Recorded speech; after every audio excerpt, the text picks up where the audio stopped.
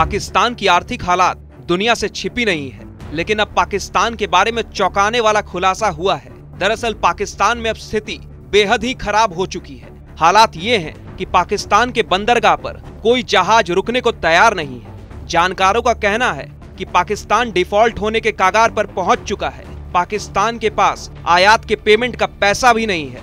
इसके कारण ये आशंका ज़ाहिर की जा रही है कि पाकिस्तान के बंदरगाह पर जहाज़ रुकने बंद हो जाएँगे। जहाज़ एजेंट्स ने सरकार को आगाह किया है कि विदेशी शिपिंग कंपनियाँ पाकिस्तान के लिए अपना निर्यात सर्विस बंद करने पर विचार कर रही हैं, क्योंकि डॉलर की कमी के कारण बैंक उनका माल ढुलाई का पेमेंट नहीं कर रहा है। अगर शिपिंग लाइन बंद हो जाती है तो सामान बेचकर जो डॉलर पाकिस्तान पा रहा है, वो भी नहीं मिलेगा। पाकिस्तान में व्यापार की बात करें तो लगभग सभी देशों से व्यापार समुद्र के ज़रिए ही होता है।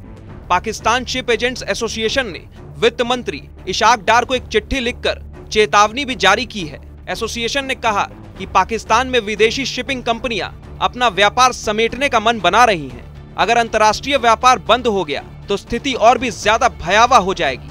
पाकिस्तान के हालात कैसे हैं, उसे इस बात से समझा जा सकता है कि सरकारी कंपनी पीएनएससी के पास केवल 12 जहाज़ हैं और इनसे वह सिर्फ़ कच्चे तेल और अन्य पेट्रोलियम ईंधन का ही आयात करता है। जहाज़ एजेंट्स के मुताबिक, शिपिंग क्षेत्र पहले से ही आर्थिक उतार चढ़ाव को देख रहा है। पेमेंट न होना किसी भी बाहरी व्यापार को प्रभावित करेगा।